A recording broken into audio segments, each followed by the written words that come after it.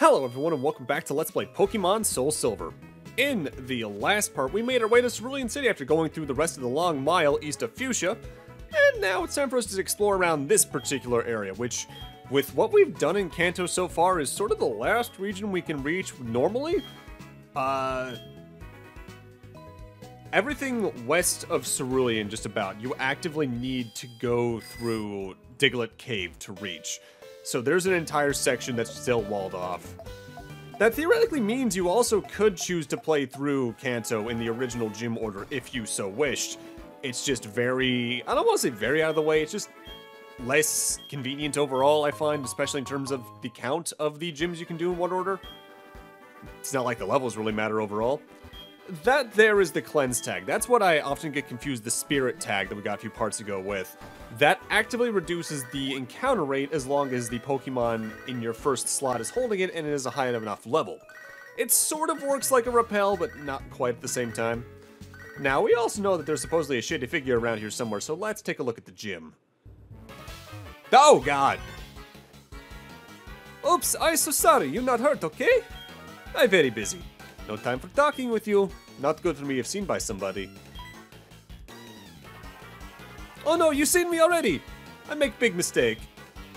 Hey you, forget you see me, okay? You seen, heard, know nothing, okay? Bye! Bye-bye go-go! Ah. The classic English grunt. One of my favorite NPCs, and uh, getting a little ahead of ourselves here, I love that they eventually made a cameo again in Gen 5. Very easy to miss cameo, all things considered, but still, cool as all hell. I do kind of find it funny, though, that history repeats basically here in Cerulean.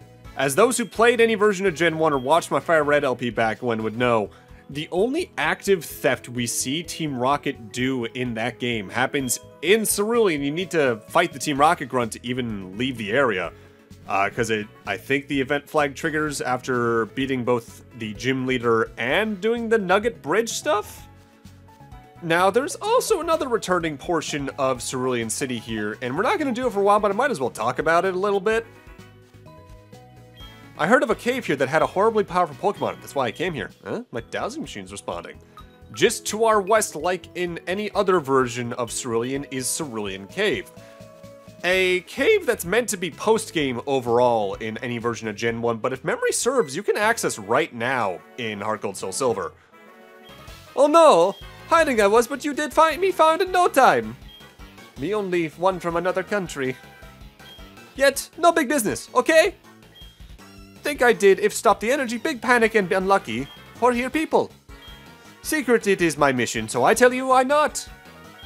But if win you do versus me, a man I be in mind secret to you tell, understand?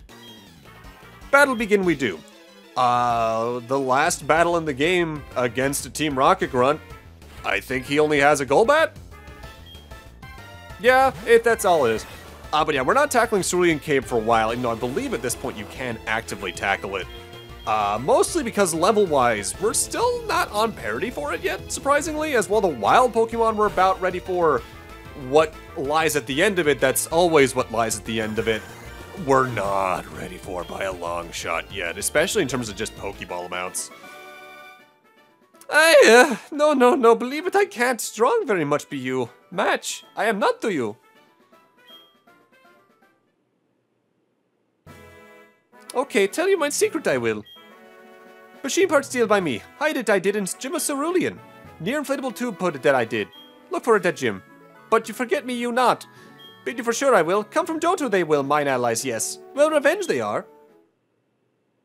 You say what? Team Rocket bye bye a go-go? Broken up, it says you.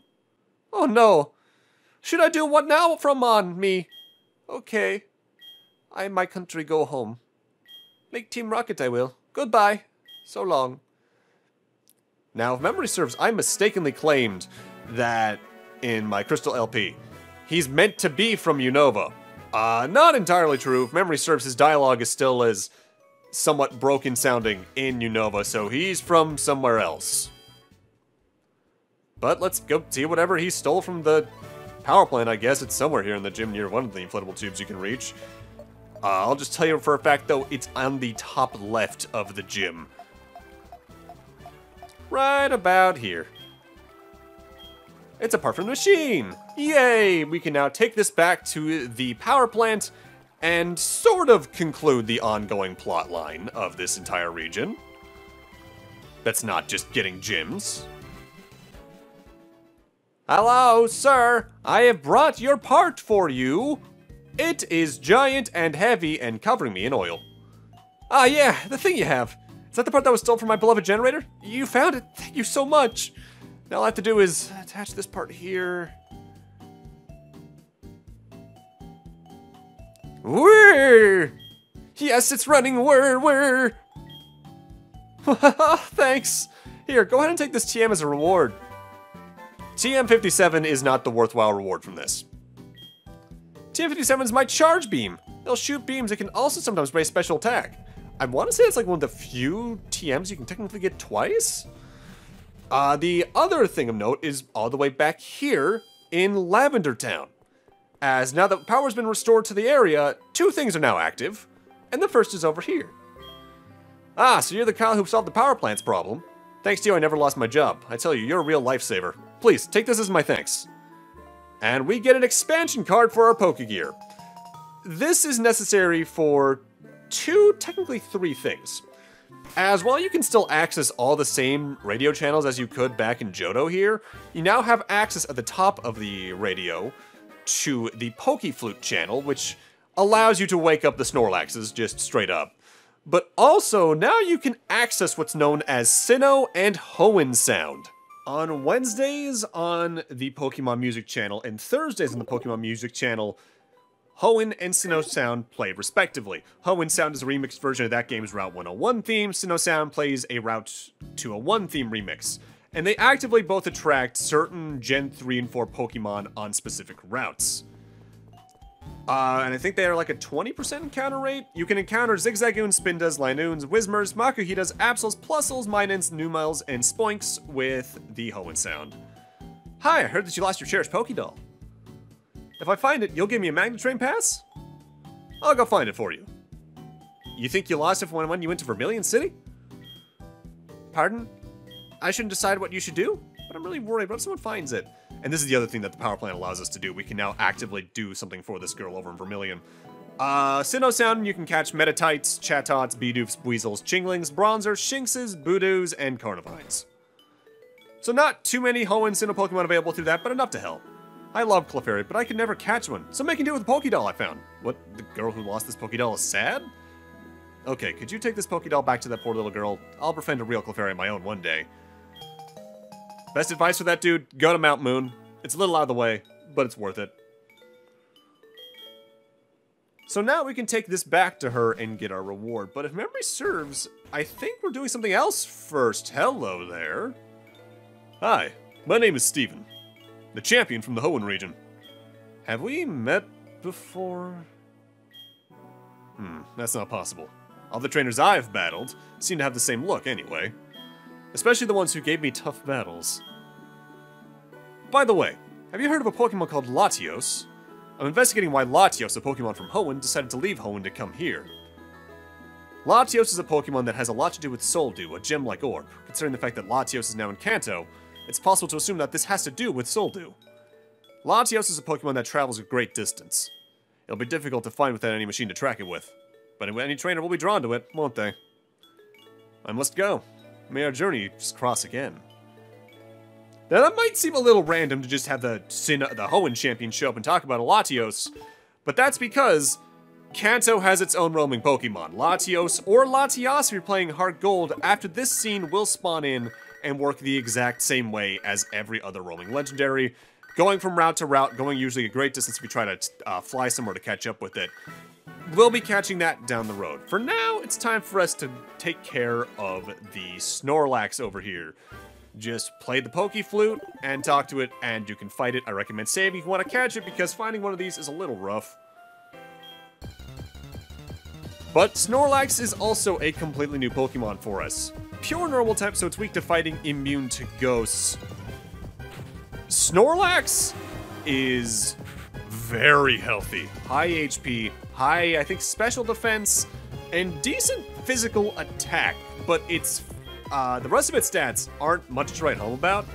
With that said, while it's very slow, it is a very strong Pokemon to have around. It's the progenitor of the Ursaring type to me in terms of how good it is with physical attacks. If you're looking for something that can use those attacks well, even if it doesn't get super effective with them, you could do a hell of a lot worse.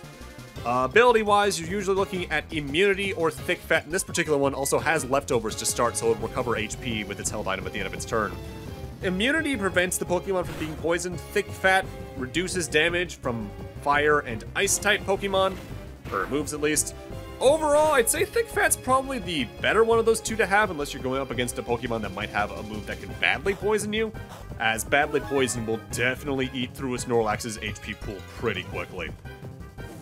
Uh, with that said, I did say before this fight because I was very aware of the chance that uh, I could either accidentally inflict a status ailment like Burn on it, or I would have uh, Struggle start going in. You're kind of safe with HP on this one in particular otherwise though, because it does have moves like Rest from memory. It's just a matter of whether or not it actively decides to get into the Pokeball. And I believe this is the only location a Snorlax can spawn in this game, whereas in most versions of Gen 1, there's the one here and the one uh, west of Celadon. But I believe if you go back and beat the Elite Four in Lance again, I believe this one might respawn. If not, uh, I don't know where else to get a Snorlax, honestly. It probably respawns, though, if, if memory tracks at least.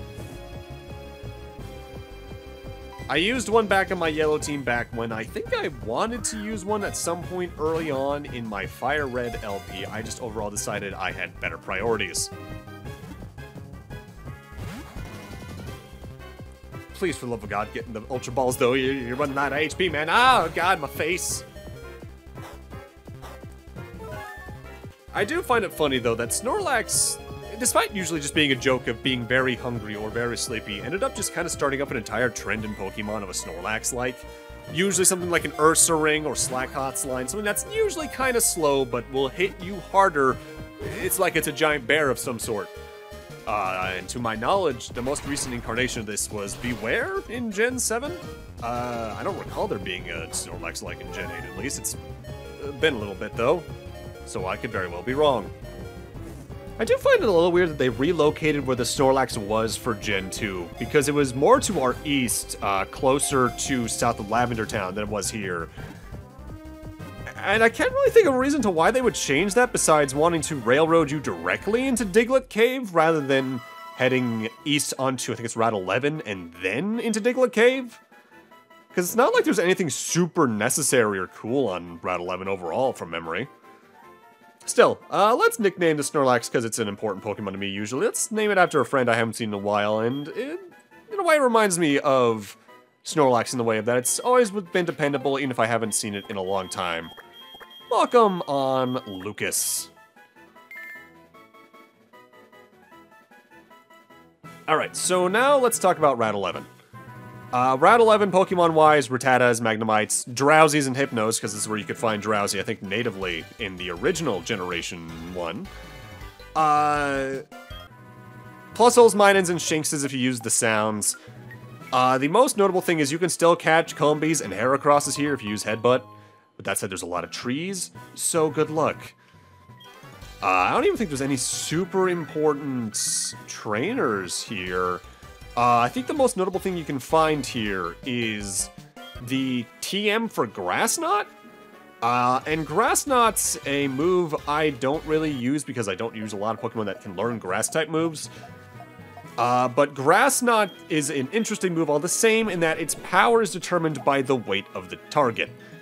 Generally, the heavier the Pokemon, the better. Uh, with that said, a lot of the Pokemon you use it on are probably gonna place it around 60 to 80 power, 100 power maybe here and there. 120 is kind of rare with it. Could be useful, has a lot of PP, not for nothing, but with how unpredictable, despite also being very set enemy weights are, that makes it rather situational for me.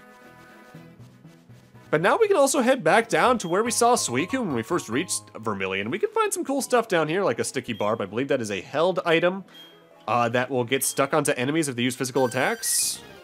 And then inflict damage? Let me look that up to make sure I'm right. Uh, yep, damages holder at end of turn, but changes holder on contact. So, yeah, that could be useful. And a big pearl, and that sells for a good bit. There's a lot of items you can just find around to sell in this particular game, it feels like. Our business in that area is concluded, though, for now at least. So let's head up back to Saffron and make sure we give that Pokédoll over to the Mimic, as it's technically important. Yay, that's my Clefairy Pokédoll! See the Terrorite with the right arm is sewn on? That's proof. Okay, I'll give you this Magnet Train Pass as I promised.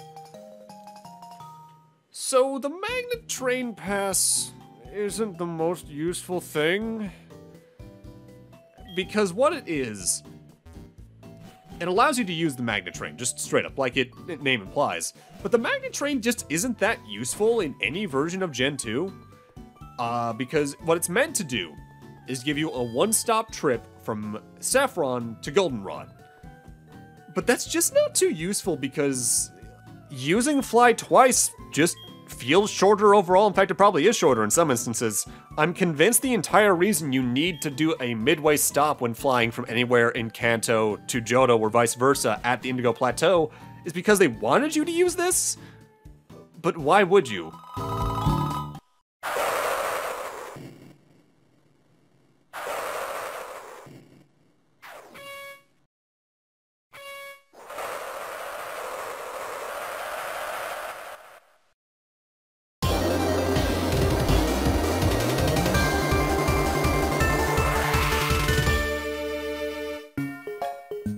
Besides it having a really good but way too short theme. But now we're in Goldenrod. Accents on the O, for some reason that that line probably makes more sense in uh, Japanese. Kind of underwhelming that the entire plotline of Kanto that's not gym badges is just to use a very not useful transportation method, but oh well. For now, it's time for us to head back to Cerulean, because in order for us to do anything else in this town, including the gym, we need to go find the gym leader because she's just not there. So we need to head route north onto Route 24 and 25. Uh, Route 24 doesn't have a lot of note Pokemon-wise. Uh, you can catch Abras in here, I think, still, like you could in any version of Gen 1. Venomoths, I think. Uh, Sunkerns. Uh, Linoone, you can catch Bidoofs here, I guess, if you want a Bibarel and Buizels. But the Nugget Bridge is completely empty, but there is still a Nugget Bridge-esque mechanic here? We got about five or six trainers in a row we need to fight, and they are required. Some of them have new Pokemon, most don't. Speed up theme for this part is the starting game fight theme from Mega Man X Command Mission. Love that game's soundtrack, even if the game itself wears out its welcome pretty fast by the end of it. New Pokemon though, this is Granbull. This evolves from Snubbull at level 23. As of this gen is normal type, eventually becomes a pure fairy type down the line, so it's currently weak to fighting, immune to ghost. Granbull's got a pretty good attack stat, all things considered, for Pokemon you can get relatively early in Johto, but that's all it's really got going for it besides okay HP stat. Uh, it's not too fast. Special stats aren't much to write home about. Even its physical defense isn't that great. Okay learn set for early game, though, so if you manage to find yourself a Snubbull, I'd say it'd be overall worth it to have around if you're looking for something that can do physical attacks decently.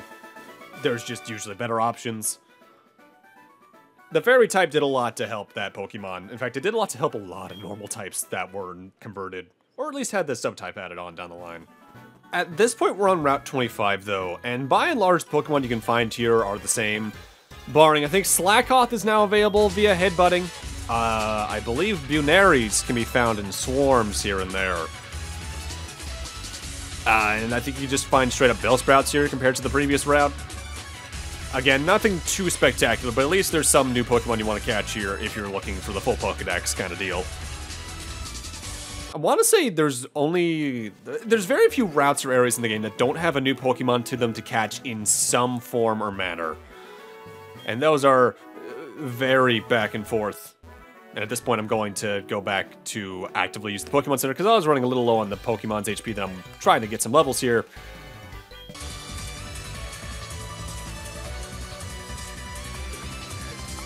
Honestly, when it comes to Pokemon trainer pacing, I'm never a fan of here's like six in a row that are required that have very few Pokemon. Because resource-wise, it's just usually not worth the investment, if you catch my drift. There's just usually better ways. Like, I'd rather fight two trainers with three Pokemon each. That's generally just worth my time more, I find. Even if it is ultimately the same amount of experience. It mostly just comes down to how many times I'm hearing an encounter theme, seeing the widdly widdly widdlies at the start of the battle, and all that jazz. At least we're almost at the end of them. Now, something I've always wanted to try that's a very specific subset of challenges for Pokemon is the no evolutions challenges, because I know a lot of people will be like, I'm going to play through all of Fire without evolving my Pokemon. I've never done that, but the older I've gotten, the more I've kind of wanted to give it a shot, because it feels like the only playthrough where you'd get a lot of use out of, like, the, the, the X items that boost a specific status stage or two. As otherwise, those items just feel like they're not really there for any good reason barring like fighting things way over your level. Not exactly worth it. Hey, you even get a nugget. And immediately throw into another battle. Great. But yeah, I've always kind of wanted to try one of those playthroughs. I just haven't because I'm usually too focused on other things whenever I come back to a Pokemon game. As minor as it is. Now that I think about it, is this guy even technically a required fight? Did I just leave that fight in for no reason? I very well may have. Oh well, I commentated over it. It's staying in. But now we're back towards Bill's house in the original game, so let's see who's staying on in here. They actually mentioned before, it's his grandfather. Hmm? You hear my grandson? His name is Bill. He's in Johto. He does something with PCs. So I'm house sitting. My grandson Bill told me a lot about a Pokemon that has a long tongue and has ring-like marks on the front of its legs, he said. You have that Pokemon, may I see it, please? He wants to see a Lickitung. If you show it to him, you get an Everstone. Then in Heart Gold, you have to show him a Jigglypuff for the same Everstone. You get Evolution Stones from him from Gen 1 for showing a different one. Uh, Heart Gold, you show him a Growlithe for a Firestone. Vulpix for that here in Soul Silver. Oddish, you show him in both versions for a Leaf Stone, Pichu for Thunderstones, and then a Staryu in Soul Silver, or a Marill in, Wat in uh, Heart Gold for a Waterstone. Ah, why did just show up and bug us now? Do you know what they call people like you? Pests. You heard me right. Pest. Oh, those badges you have. Are they Johto Gym badges? If you have eight, you must be good. Okay then, come to Cerulean Gym. I'll be happy to take you on. I'm Misty, the gym leader in Cerulean. Well, someone was on a date and we clearly, uh, barged in at the very wrong time. But now we can actively go challenge Misty's gym, as straightforward as it is. And they even give you a convenient little path all the way back to town. That was more worth it as a shortcut in any version of Gen 1, because I think there was at least an item along the way. Nowadays, you can just, I think, come... No, you can't come straight up that direction because of that ledge, but there's less reason to do it, is the point, I find overall. If only because by this point you actually have uh, Fly, and you didn't in the original game at this point. Gym time! Yo, legend in the making! Since Misty was away, I went off with some fun too. Her gym's entirely water-based. You can use Surf to go on the water. Uh, you can technically avoid doing that if you time getting around this particular trainer well enough. I didn't, so I'm now forced to go into the water. But even then, the water is wider than it looks, so you can actively be above or below most of the trainers in there. But we got another new Pokemon. This is a Azumarill. Water type alone in this generation. Eventually becomes Water Fairy so it is currently weak to grass and electric. Azumarill's got a high HP stat and some good defense stats on top of that that get even stronger in some of the later gens, I believe, memory serves. Uh, this is a fine enough pure water type. Azumarill, I think, gets boost boosted in every gen it's in because it has the abilities Thick Fat and Huge Power in this gen. So either fire slash ice prevention or huge power, which just raises the attack stat of the Pokemon by a notable amount. Uh, the addition of the fairy typing to it down the line also gave it a very notable boost. For now, though, it's just a better Marill, which is a good water type, but there are better. I'll always remember Misty's gym for one particular reason, though, and that's that was the source of one of the biggest Poke rumors when I was a kid in my classes growing up. Uh, I want to say it was a kid named Steven in one of my classes. Uh, talked about how in Yellow you could join Team Rocket by stealing Misty's some Pokemon like her Starmie, I think, by sneaking up behind her with Surf.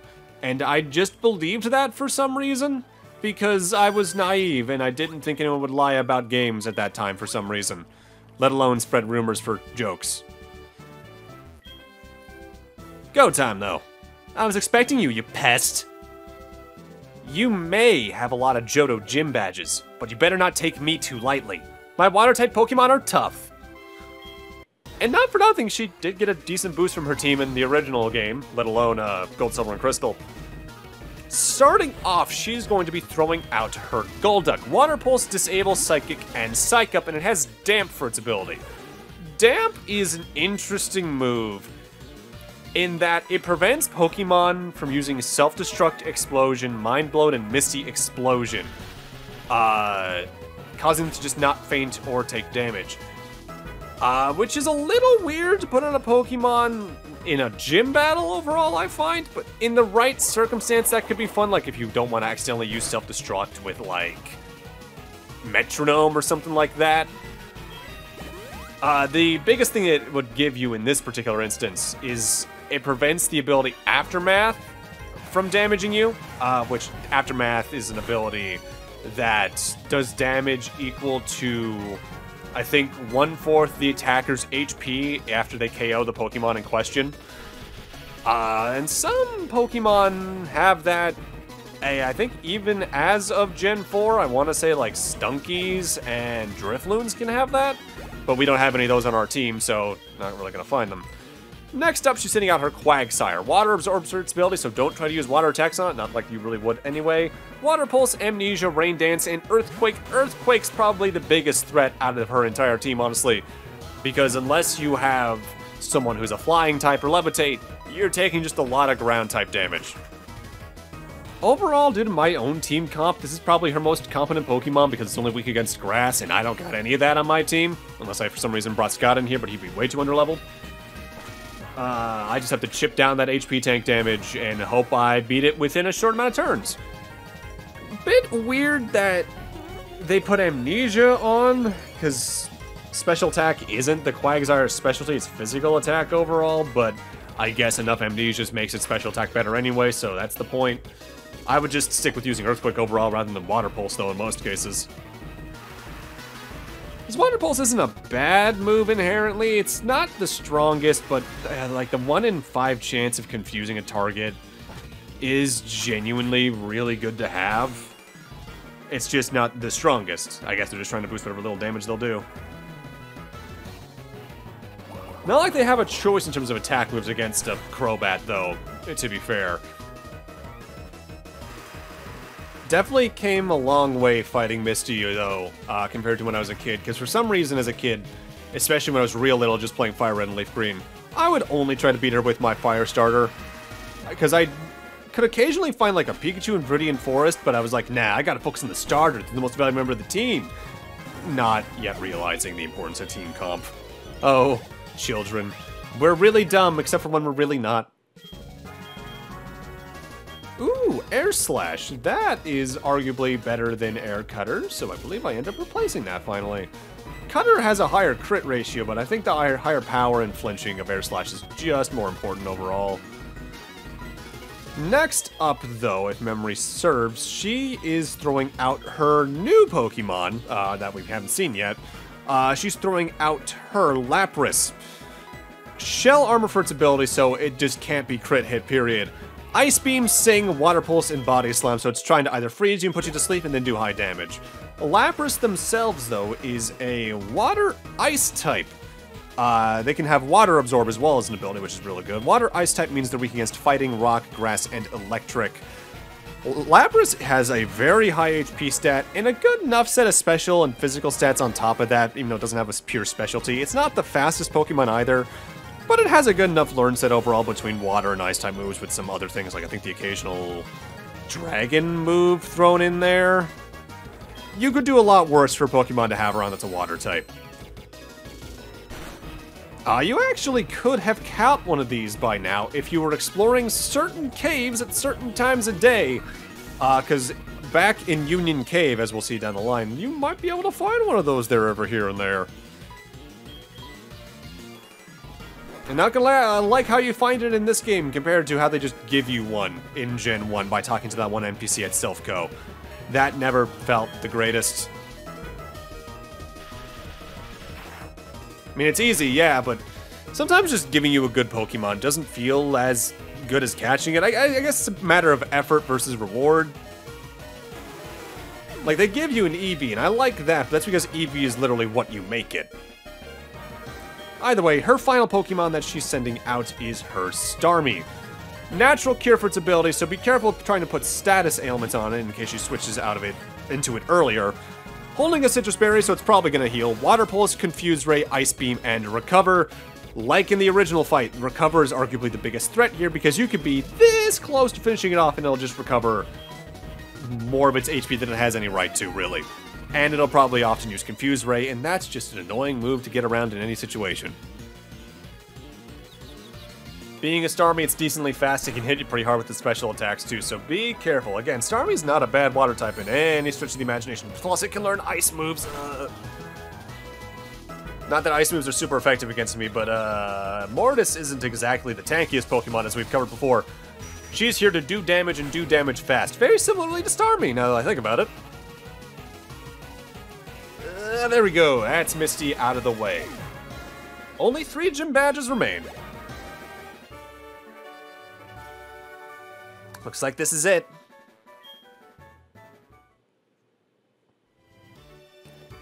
You really are good. I'll admit that you are skilled. Here you go. It's the Cascade Badge. Eh, yeah. And time for a OKTM. Here's another memento from this battle. Take it. I believe that's just straight up Water Pulse. It contains the move Water Pulse. It can sometimes confuse your foe. You've managed to defeat trainers all the way from Johto. I'm sure you have a good use for it. Uh, not really. But with that, I'm gonna need to end this off here. Thank you guys for watching, and in part 28, we're not quite done with Cerulean City proper. We have one more thing to take care of before we move on from town, because now that we've cleared Misty from the Seaside Cape up in the north, there's something else waiting for us there now. See you guys then.